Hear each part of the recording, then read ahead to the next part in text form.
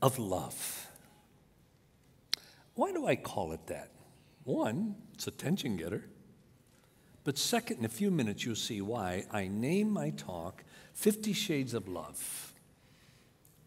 I believe the mis- most misunderstood term and concept in the entire world is love. I really do. I don't think there's any concept that's less understood than love. Maybe truth is there, but love.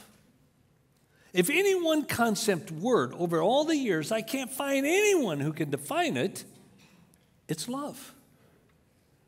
And yet, almost every one of us, now think this is a contradiction to me. Almost every one of us to say, it's the greatest motivation of my life. I did it because I loved him. I loved her. I loved him. And we can't even define it. We'll say, I have a loving marriage. Oh, how do you know? You can't even define love. How do you define love?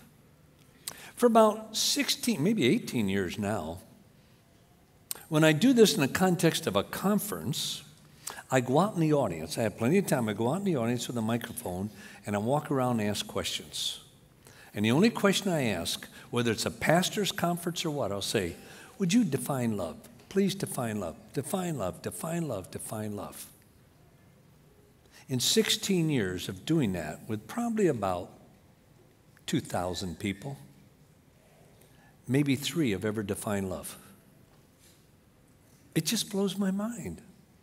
But there's almost always three answers that will surface, almost three out of the first five answers you get from going around, especially with adults. These are the three answers you get. Define love. God. Really?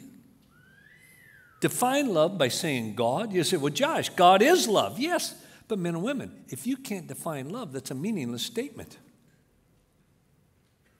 Look, in this room right here, there's at least probably 200 different definitions of love right here. So we'd have 200 different definitions of God. That's insane. Then another, oh, always, and, and in pastor seminars, this always come up. Define love. Now puff up their chest a little bit and say, what? Like, dumpy, don't you know? Define love. 1 Corinthians 13. What? You define love by 1 Corinthians 13? Show me one verse where it defines love. There is none. You say, well, it's a love chapter, but be careful there. 1 Corinthians 13 does not define love, it shows what love does. Love is patient, love is kind, love thinks the best. Now, what is it that causes that patience, that kindness? And then, especially with young people, this one almost always pop out. Would you define love? Well, sure, it's a feeling. What? Love can't be a feeling. No, Love can result in a feeling, but it can't be a feeling because if love was a feeling, God couldn't command it. You say, why not? Because you, it's difficult to command an emotion. Feel better. What can you command? Anyone, just speak. What can you command? Love would have to be what to be able to command it? I heard somebody say it a whisper Action as a result of what? Action as a result of what? Well, we're on it. A decision or a choice. To command someone to do something, it has to be an, a decision or a choice that results in an action. So love has to be a decision that results in a behavior, a lifestyle, an action. Well, what is love?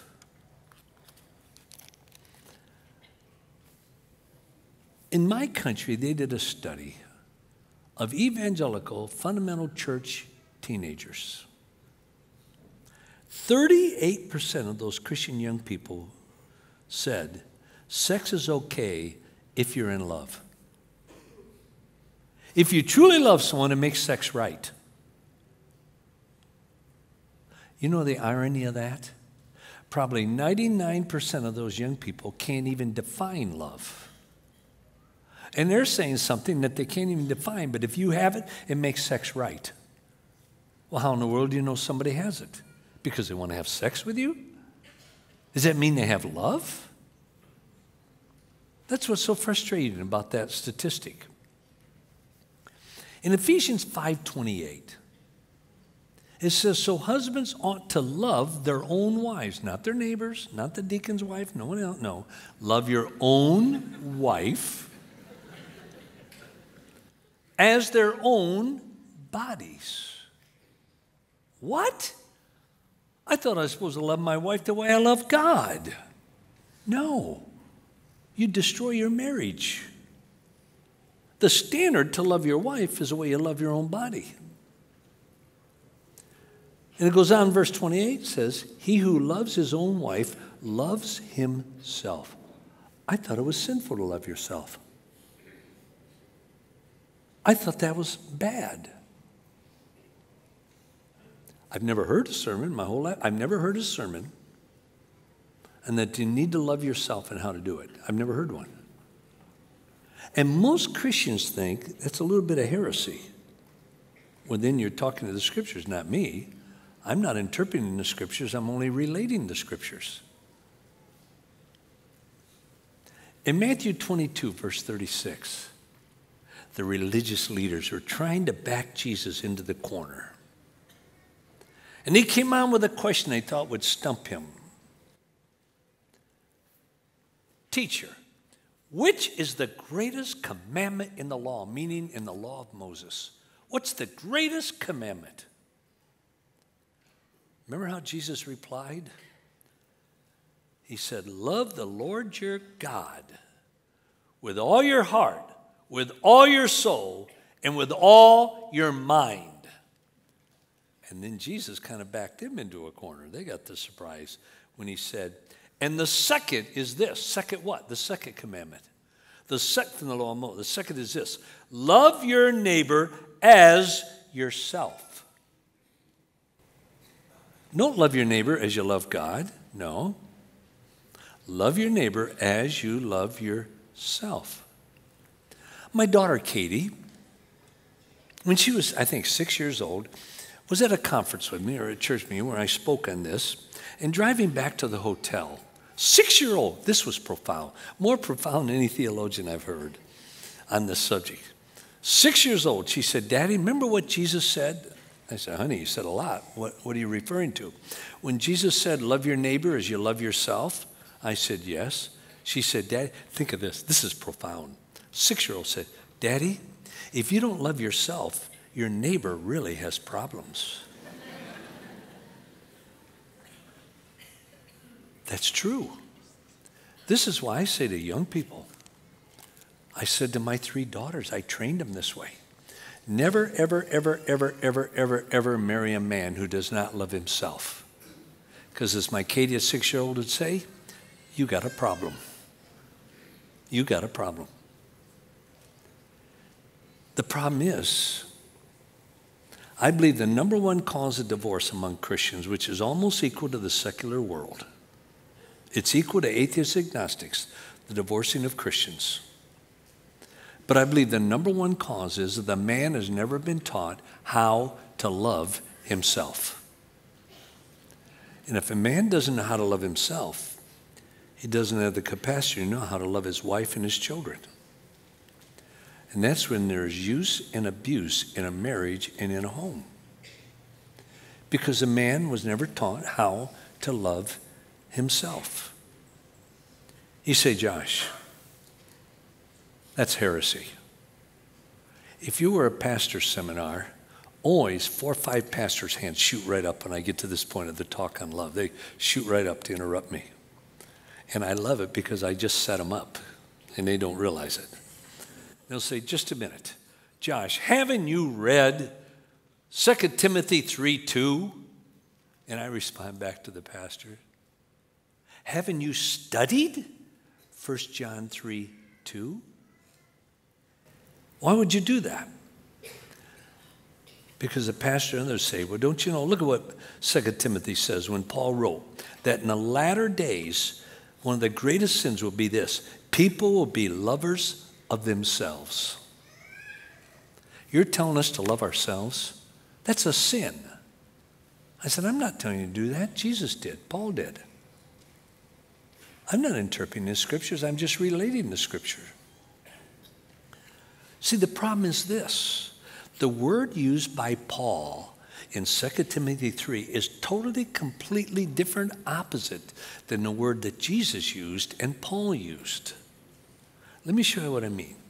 In 2 Timothy 3, the word used is philautos.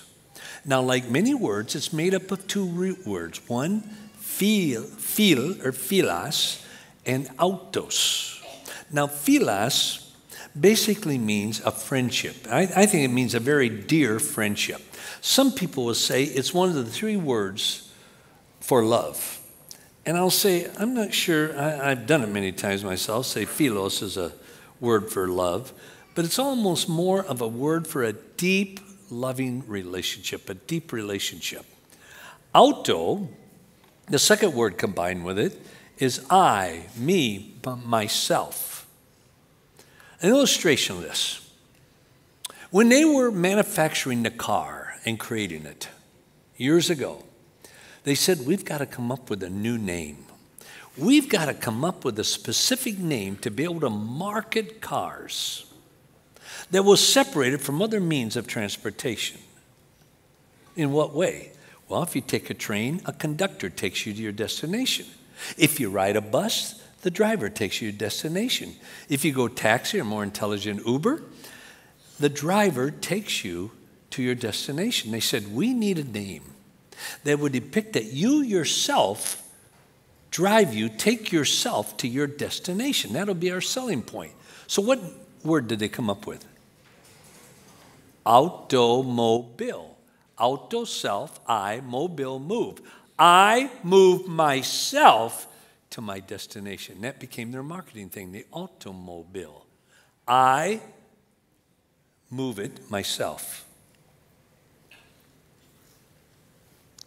When you take philos, combine it with auto, the ultimate meaning changes. It often happens when you put two words together, the significant meaning will change. When this, it really changes. When you put the two together, philautos would be described in Jude 118, whose purpose in life is to sit, satisfy their own ungodly desires. That's what it's going to be like in the last days. It'd be men and women who are out to just sat, lovers of themselves to satisfy their own ungodly desires. Or in 2 Peter 3 3, where it says, scoffing and following their own evil desires. That's what it'd be like in the latter days. Or, as Paul said in 2 Timothy 3, in the latter days they will become lovers of themselves. Now, the word that Jesus used was totally different Paul used. It was a word you're all probably know it and you're familiar with it. It's called agape. Agape. Agape basically means to think of others first. Not your desires, but their desires. Not your needs, but their needs. Not your wants, but meeting their wants. It's other person oriented. But Josh, you just contradicted yourself. You said you're to love yourself first. No, I didn't say that. Jesus did. Paul did. Love your neighbor as you love yourself. So you got to love yourself first. And then how do you love your neighbor? Not the way you love God, the way you love yourself. Oh, that's a little different, isn't it? So you love yourself first. Paul said, Love your wife as your own body. So you start loving your own body first, and then you love your wife, not based upon how you love God, but how you love your own body, is our standard. Kind of weird, isn't it? No, it's beautiful. So, Josh, you're contradicting yourself. You're saying agape means to think of the other person, and you're saying you need to think of your, yourself first. Yeah, that's exactly what I'm saying. And it's not heresy, it's biblical. It's an understanding of the word agape. The best way to explain it in the shortest period of time is this illustration. Over the years, I've had the privilege of making over 20,000 airplane flights, probably equal to anyone in history. I have seen everything. Tr- crash landed three times, twice in foam, which was quite an experience. Uh, flying over Panama my wife, we lost one of only two engines. Fell right off the plane. They ejected it because it caught fire, so they ejected it. You should have seen that plane. Everybody panicked. I said to my wife, honey, honey, relax. This plane is made to fly just as well with one engine as two. It can take off, land, everything. Are you sure? Yeah. Honey, are you sure? Yes.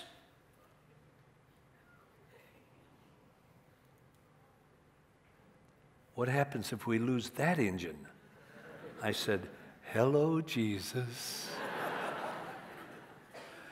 and there were about 10 people that heard me, and they all panicked because I don't think they knew Jesus. But every flight I've ever taken, commercial flight, in fact, even most of the non commercial private jet flights, you hear this phrase. Say it's Delta Airlines. They'll come on and say, the flight attendant will say, Thank you for choosing Delta. Lady, there was no other flight, but anyway, thank you for choosing Delta.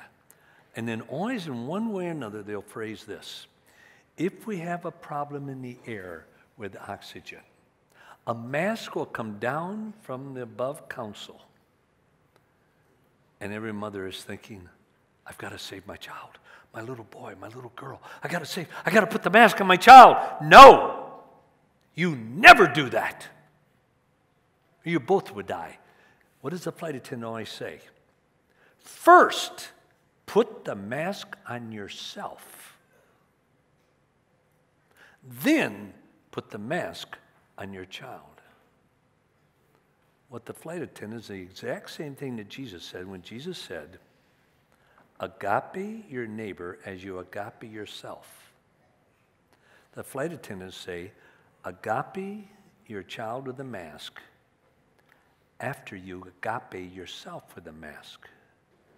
Because if you don't first put the mask on yourself, no matter how much you love your child, whatever, you're both to die. I've seen this two or three times in emergencies and planes when the mask will come down. And the mother will put it on. When you take a little child, they'll fight you. They'll want to rip it off. No, no, no, no. They can be six years old and they act like a two year old.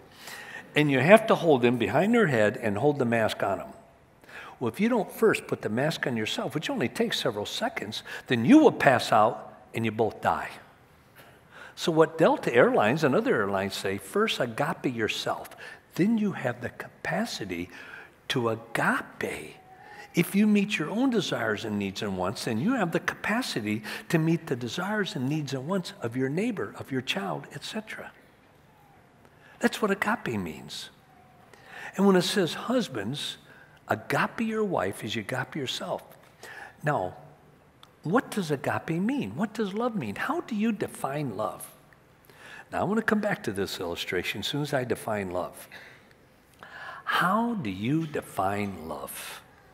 In Ephesians 5:29 it says, "No one ever hateth his own flesh." Now, this is a response to right before that is that husbands love your wives as you love your own body. Or Jesus said, as you love yourself. That's the model. Loving your own body, loving yourself is a basis for loving your spouse and loving your neighbor. And then the next phrase says, For no man hateth his own flesh. The opposite of what the motto is. And then it says, But, you know what the but does? It offers the opposite of hate your own flesh.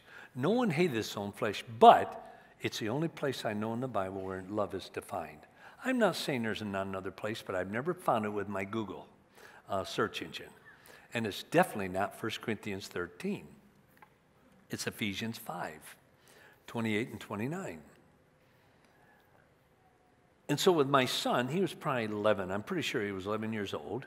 And I'd probably already taught this to him two or three times. With kids, no matter what it is, you got to just reinforce it over and over and over again. And you never say to a child, Well, last year I showed this to you. Last year I. No, no, no, no. You don't do that. You just enthusiastically do it all over again. Explain it, define it, give an illustration all over again to kids. It, they're like adults, it takes a while to sink in. And that's not a joke. Um, and so my son said, I said, to love means to nurture and to cherish. I love teenagers, kids. Dad, what does that mean? That's when, as a daddy, you're off and running because they're asking you to define it. And I said, Well, son, to nurture means to bring to maturity. To bring to maturity. What area, Dad? I said, Well, I've got two great heroes in life Jesus and my wife, usually in that sequence.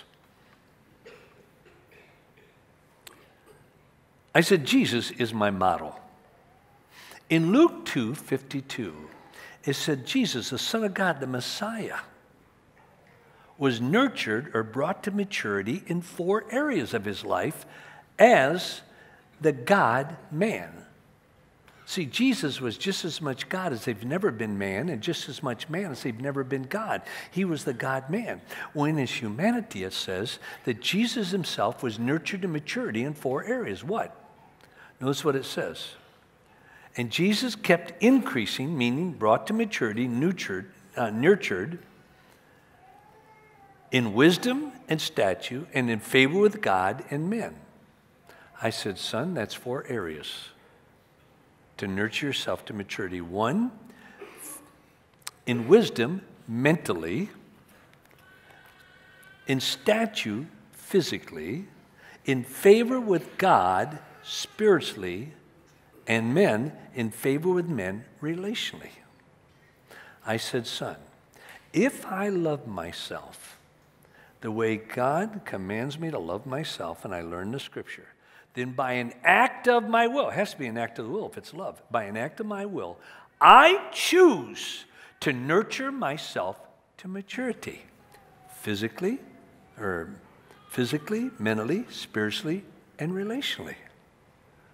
If I truly love myself, then I'll do everything I can to put spiritual nutrients into my life to grow spiritually, to grow in relationship with my wife, my children, people in the body of Christ.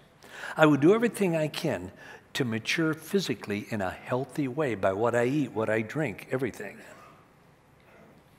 And then I'll be very careful what I take into my mind. I'll make sure that I, I study the scriptures and godly literature and everything that will cause me to mature mentally. Now I said, son, that's only half of love. It says to nurture and to cherish. To cherish does not mean to adore. I'll get these emails saying, You're teaching young people and others to adore themselves. I said, Oh, get real. To cherish doesn't mean, Oh, I adore myself, everything. No. To cherish, basically, the word means to care for. In the context here, and its construction would be to care for in the sense of protect. So I said, Son, if I truly love myself the way I should, then by an act of my will, I would nurture myself to maturity physically, mentally, spiritually, and relationally. Then, if I truly love myself the way I'm supposed to, then I will cherish myself. In other words, I will protect myself from anything or anyone who will hinder that nurturing process in my life. Now, I said, Son, this is how I'm to love your mother. It says, Husbands, love your wives as you love your own bodies. Men, women, love your neighbor as you love yourself. I said, I am to love your mother the way I love myself. Therefore, if I truly love your mother, by an act of my will, I choose to nurture my wife to maturity, physically, mentally, spiritually, and relationally. But then, kids, son, if I truly love your mother, then by an act of my will, I will cherish your mother. In other words, I will do everything in my power to protect your mother from anyone or anything that will hinder that nurturing process. And when it says, Husbands, Love your wives as you love your own body. If you do not agape yourself first and mature yourself physically, mentally, spiritually, relationally, you will not be able to consistently love your wife. If you don't keep yourself up physically, you'll lose that capacity.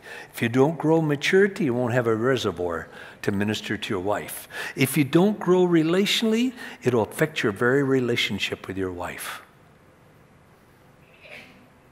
This is why it says, love your neighbor as you love yourself. Because if you don't put the mask on yourself first, physically, mentally, uh, spiritually, and relationally, you won't be able to put the mask on your wife physically, mentally, spiritually, relationally. Isn't that beautiful? Now, what I want to do is do something I say it's absolutely impossible. I always taught my children you cannot define, and I believe it, you cannot define a major concept or term with less than seven to nine words. Try it without leaving something out. I said, kids, I'm going to do the impossible. I'm going to define the most complicated concept in the world called love with just three words. No, Dad. Yep, I'm going to do it with three words, and I'm not going to leave anything out. And I could just see my son think, Yeah, Dad, try it. I said, Son, when it says to nurture, write the word provide. That's what it means to provide nutrients for growth. If your child comes home from school and you say, I want you to go out and fertilize the flower bed, what are you saying to your child? I want you to go out and take nutrients and I want you to place it in the dirt around the flowers. Why? So they'll come to maturity and blossom. That's what to nurture means spiritually to place nutrients around and in your life that you will come to maturity. So, first, you write provide. Second, the word cherish. Write the word protect. Basically, that's what it means to protect those flowers from anything that would hinder their nurturing process by maybe putting a little fence around it so dogs won't run through it and destroy them or animals or anything else. You will protect them. Some, some flowers, you would protect them from the sunlight, flowers that need shade. And so I said, write down protect. Now take provide, protect, invert them. Don't ask me why, it's just easier for me to say it. Invert them. And then put one three letter word in between, and you have the simplest definition of love. Put the word in between and. How do you define love? Very simple protect and provide. If I love my wife the way I love my own body, then with every aspect of my life, I will do everything to protect and provide for her physically, mentally, spiritually, and relationally. Pretty well covers everything. And it's where Jesus matured through being nurtured in love. To protect and provide. Remember before we started out, God is love, and that's how so many people, Christians, define love, saying God. Well, God is love. But what does that mean? So take the word love out and put in the three word definition protect and provide. What does it mean? God protects and provides. That's what it means. God is love. He protects and provides, as he did the church. It says, that Paul said in Ephesians. We're to love each other as God loved the church, which meant what? He protected and provided for the church. If we love our children, we're to protect and provide for our children. If we love our spouse, we're to protect and provide. If we love our neighbor, we are to protect and provide. Wow. But so many people say, well, Josh, ah, Christianity is negative. The Bible's negative. So often the church is negative. My parents are negative. I say, what do you mean? I don't know what they're going to say. Well, it's always don't do this, don't do that, thou shalt not, all the commandments and everything. Christianity is mere negative. All God wants to do is take the fun out of life. Don't do this. Don't have sex because I don't want you to enjoy it. I don't want you to have fun. I said, Boy, did you miss the boat. You took a boat that's sinking, not one that's sailing. For this reason every single commandment in the scripture is an act of love. Every commandment. Why? Every commandment stems from the very person, character, and nature of God, and one of that aspects is love. Every time the Bible says, Thou shalt not, it's not negative, it's positive. Why? Because every commandment is to protect you and provide for you. How many kids even understand that? I, was, I didn't understand that until the last year of the university. And when I understood, oh my gosh, the Bible's not negative, it's positive. Because God loves me, He issues these commandments from His very nature to protect me and to provide. It changed my whole concept of who God the Heavenly Father is. That's one reason why I wrote, I don't have it here. Yeah, I do. I don't even know how this got into Singapore so fast. It just came out. Set free to choose right, equipping today's kids to make right moral choices for life. And I wanted to help parents to help their kids to consistently make right choices based upon the person and character and nature of God. That it's all positive. So, what you need to do, and I help you in here to do it, on every one of those to show when God says, Thou shalt not, to actually show you how He protects you and provides with you through that commandment. And boy, kids respond to that in a whole different way because you're doing it out of grace and a relationship, not out of legalism and the law. As parents, we owe our children two things. One, a definition of love. Oh, especially in the day of the internet. The internet has changed everything. The internet has marginalized your culture. It has. One of the biggest things I hear when I travel around the world is, well, Josh, we don't do it that way in our culture. no one person says that the second time to me. Because I will look at that pastor, whoever it is, and say, You're irrelevant in your culture then. If you live according to the dictates of your culture, you're probably irrelevant. I don't know one Christian culture in the world. I don't know one godly culture in the world. They're all secular. Maybe with Christian words or something, some of them. The United States is one pure secular country. We owe it to our children to define love. Now, why?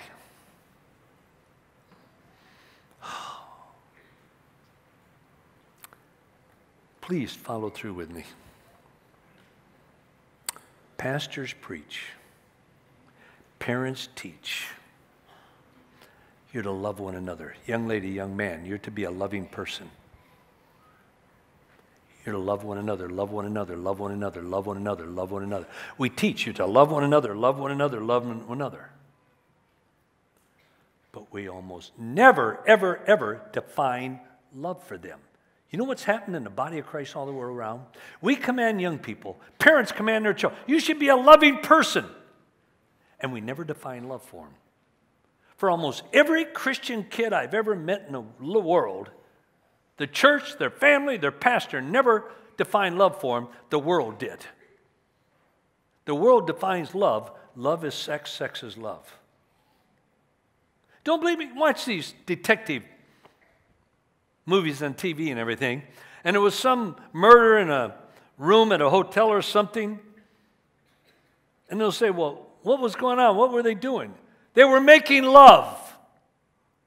No, they were merely having sex. But you see, in the secular world around, sex is love, love is sex. If you love someone, you have sex with them. If you're having sex with someone, you're loving them. Our Christian kids are caught up in that. To me, it's almost evil to tell kids you should be loving.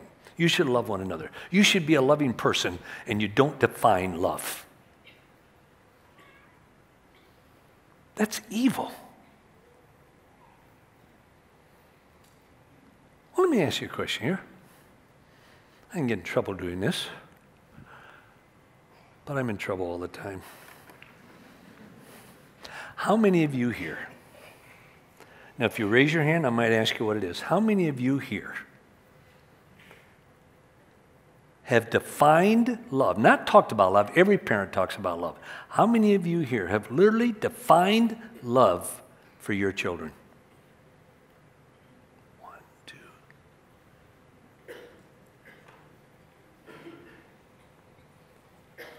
Two hands. What do we expect of our children? Folks, if you don't talk to your children, somebody else is. It's called Google. If you don't define love for your children, then never tell them they ought to be loving people. Because you set a trap for them. The world is defining love for our Christian kids. We owe it to our children to define love. Second, we owe it to our children to model love, to model, protect, and provide. Because most young people learn more visually, they, they come over the line with a visual help or an illustration or a story, not just the truth and the facts. We need to model love and the definition that we teach our children if we're truly going to impact our kids in the 21st century.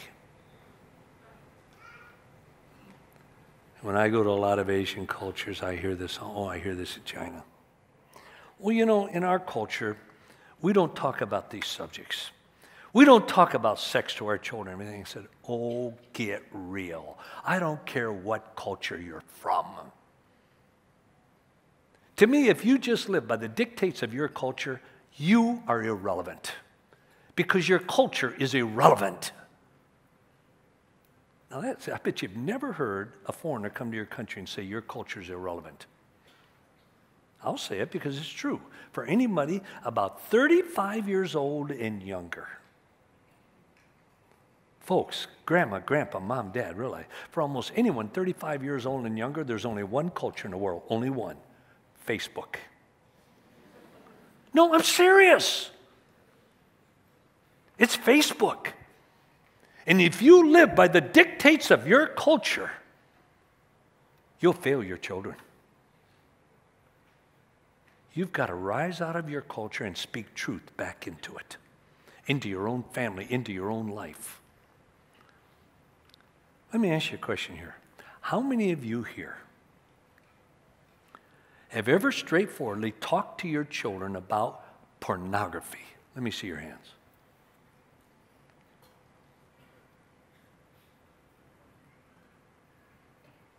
Seven hands. Folks, what are you doing? You say, well, Josh, we're an island. We don't have a problem with pornography.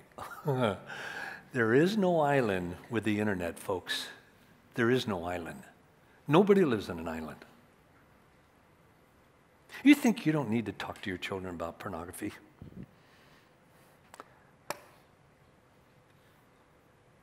There's 210 countries of the world. It's either number two or number four. Of 210 countries of the world,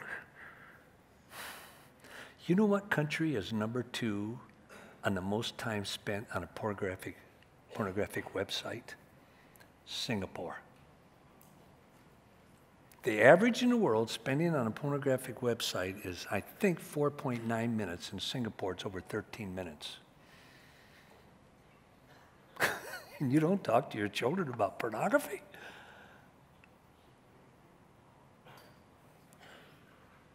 Folks, you've got to rise above your culture for the sake of your children. Because if you're not talking to them, Trust me, someone else already has. It's called Google and their peers. And I'm almost saying if you do not talk to your children about pornography, kiss your children goodbye spiritually. You're going to lose them. You wouldn't have 20 years ago in the day of the internet, you will lose your children.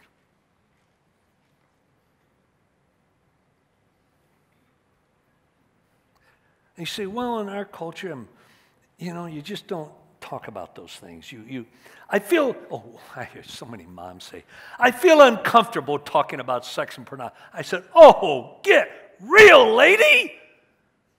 Because you feel uncomfortable, you don't care if your kids get hooked into pornography, and they will.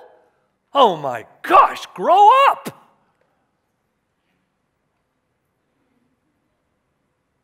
Because we feel uncomfortable. Get over your culture, folks. We live in a world of the internet.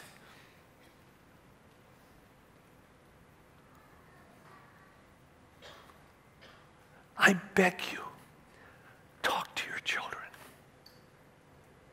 Interact with them. You don't talk to them, you interact with them. You talk with them. Listen to them. The greatest thing you can do to help your children walk through the maze of the internet, of all the sexual issues, pornography. you think your child won't see pornography? Wake up, grandma.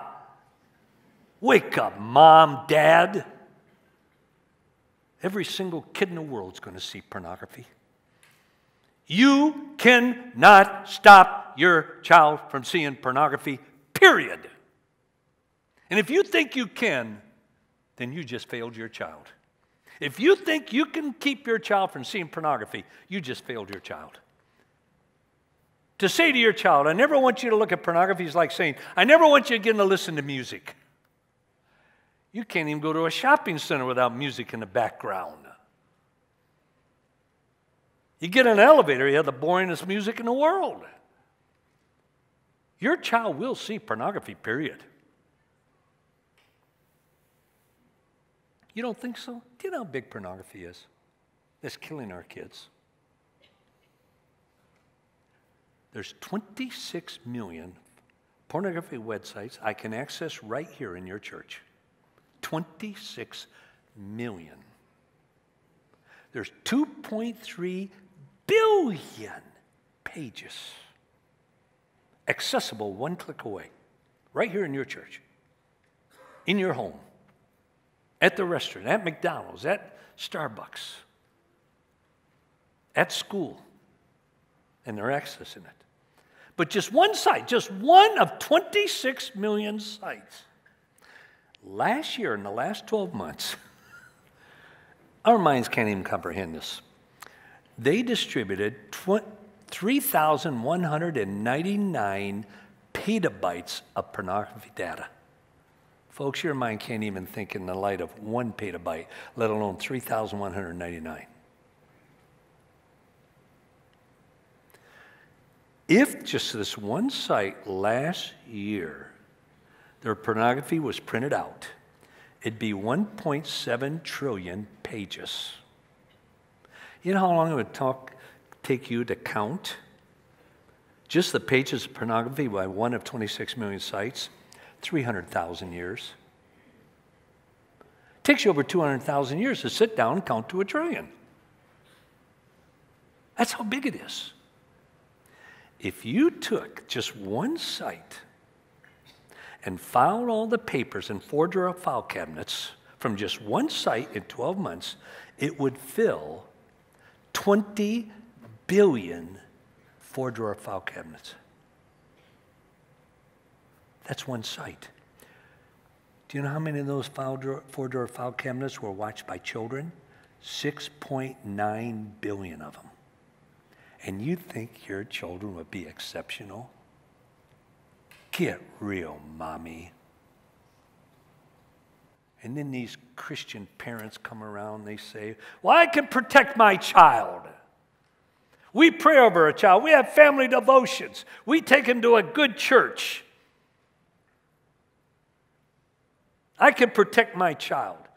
And then they'll always say this Josh, my kids are good kids. You got to understand that. My, my children, the way we raise them, they're not going to look for pornography. I go, oh my gosh, mom, get your head out of the sand. How irrelevant can you be? Of course, your children are probably wonderful kids. They're good kids the way you've raised them. And I can almost say, certainly, For 70% of them, they will never look for pornography. So you say, What's the big deal? You missed it, mom. Pornography is looking for your child, and it will find your child, period. So don't give me that line. Your children are such good children, they won't look for pornography. Because that's probably a true statement.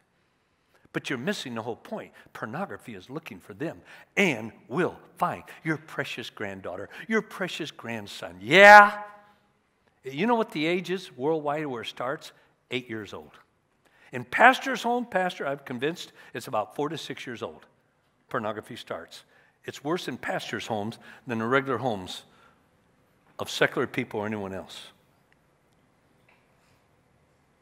Yes, you have good children. You've probably raised them wonderfully. And they won't look for pornography. But pornography is looking for them, and let me tell you, they will find your children. And I'll tell you this by the first time your child sees pornography, which probably you better say in your mind, eight years old. I say five. In your mind, statistics globally is eight years old. If you have not prepared them for the first time they see it because you're a little uncomfortable, well, we don't talk about it. I'm a little embarrassed. Yeah, really. If you have not prepared your child for the first time they see pornography, and they're going to see it, you will probably lose your child, whether it's 8, 9, 10, or 11 years old. Why? Because I've learned one thing through studying research and all. If by the first time you have not prepared your child for pornography, and part of that is defining love, what love is, living it out before them, then when they watch pornography, that child cannot detect a counterfeit from the original. And that's why most Christian kids are growing up, literally, all the research shows it. They're growing up believing pornography is sex. Why? Mom and dad never talked to them. Oh, I'm uncomfortable talking about it. Then why get upset when your kids were watching pornography if you're uncomfortable? Wake up, mom, dad. Get out of your complacency. There's literally a battle for our children. Folks, you probably heard me say this. I've said a number of times this week. Singapore is unique among all nations of the world. You really are.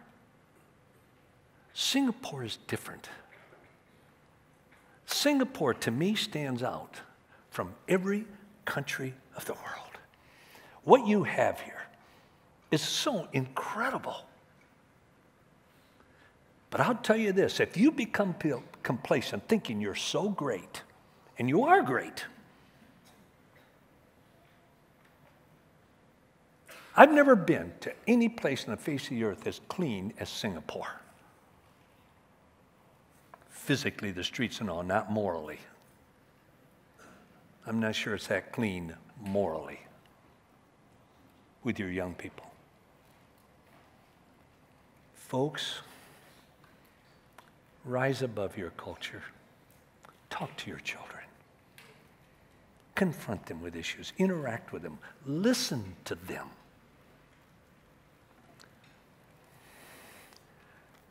How do you talk? There's a book out there. It's called The Bare Facts. I wrote this to help parents be accurate in talking to their children about sexuality. So many Christian moms, they water it down, sex and everything else. And that's when you lose your child. Wow. Because whatever, ever, ever you talk to your children about sex, they're going to Google to see if you're accurate. They will, mom. And you better be accurate. And most Christian moms and dads aren't. that's why I completely documented this, the bare facts. And then with it, it's got 39 questions your parents hope you never ask about sex. You know how I got that subtitle? With all my books, we do focus groups. Am I communicating? Do they understand it? Where is it short? Almost every single focus book in this group, when it was over, almost every parent said, Oh, I hope to God my kids never ask me those questions. So I said, That's a good subtitle. So it came from parents. And then it has a video with it. Oh, was this fun to do? The bare facts, 43 answers to questions your kids are asking right now. Each answer is about four minutes long. But because it's video, I have a table with me and I have these illustrations on there I can pick up and I can help to visualize, to illustrate, to remember that biblical concept, that concept about sexuality or something that will help them to remember it. And then straight talk with your kids about sex. The reason I wrote this book, almost every book out there in this subject was written before the impact of the internet. The internet has changed everything. It has totally changed the way we need to talk to our children about sex. Straight talk with your kids. And then one of my three top favorite books 10 Ways to Say I Love You. This will help you to help your child to see how love, protect, and provide is lived out in relationships. What does it look like? Can you sit down with your child and say, This is what it'll look like if you truly love someone? I help you do that. And then, how to have an awesome impact in your kids 10 commitments for dads. Dad, you are the key. You are the key. In almost every, I don't know of one culture in the world where the number one problem with kids is not the father. I don't know one culture. I make this statement, and I've yet to have a psychologist challenge me because I'll bury him. In my country, 95, same true in your country, 95% of all the problems kids face stem from the father, not the mother. The mother is usually doing it right or trying to. The father so off is out in Willy Willy land. I have no idea what Willy Willy land looks like, but it sounds wimpy. Dad, I truly believe the future of Singapore, the future of the church in Singapore, is on the shoulders of you men as fathers.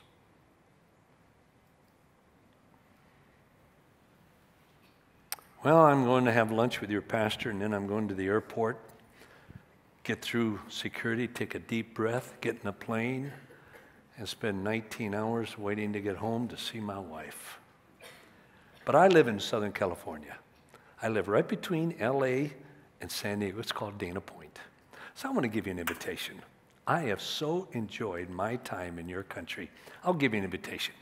If you get out to Southern California, you get around Dana Point, one of the most beautiful places in America to live, and you lost your money. You have nowhere to stay, nothing to eat, no tickets to Disneyland.